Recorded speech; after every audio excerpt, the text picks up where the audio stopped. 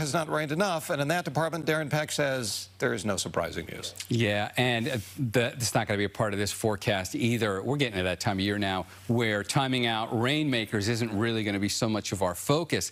What is, is how different it feels today from yesterday for any of us who are in inland Alameda and inland Contra Costa County and up in the valleys of Sonoma County.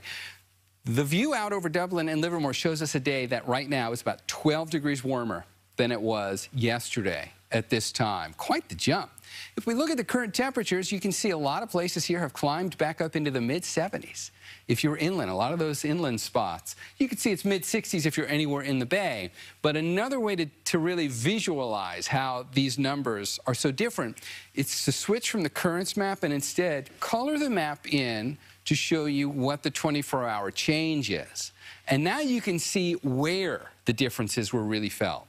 Obviously, inland Alameda and inland Contra Costa County, as I just mentioned. But if you take a look up into Marin County, you can see a big splotch of orange up there as well. And the numbers will show you just how far above yesterday's numbers we are right now.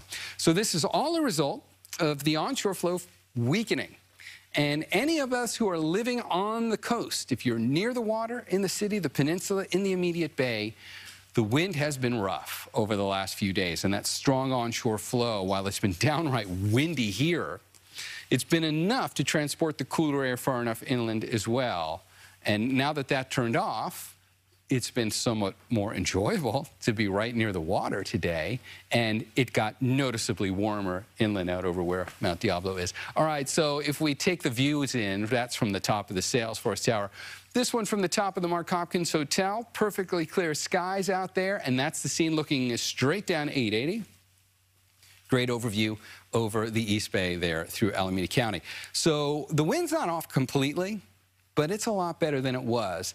If you watch the bright colors on here, you can see the onshore surge as we go into this afternoon and evening. So we're coming into the time of day now where that onshore wind gets the strongest, 5 o'clock through about 8 o'clock. You can see it right there through the city on the peninsula like a, you know, like a sore thumb and along the coast where the brighter red colors are. Meanwhile, you get inland and light blues tell you it's not all that windy.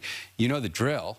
Things will calm down for tomorrow morning and through much of the day tomorrow. And then as we get into late in the afternoon on Sunday into Sunday night, onshore surge is going to turn back on again. That's a 27 mile an hour gust in the city, which is kind of like the front lines for where we feel this the most. Two things about that, by the way. You get windy and it's unpleasant in that regard, but this is also the time of year where we're putting the most pollen into the air which happens to coincide with the time of year when we get the steadiest onshore winds that can really pick up that pollen and just spread it around. We get hit in two ways this time of year. Obviously, the influx of pollen is the main problem, but it doesn't help that it coincides with the time of year when it starts getting windy on a regular basis thanks to that onshore flow.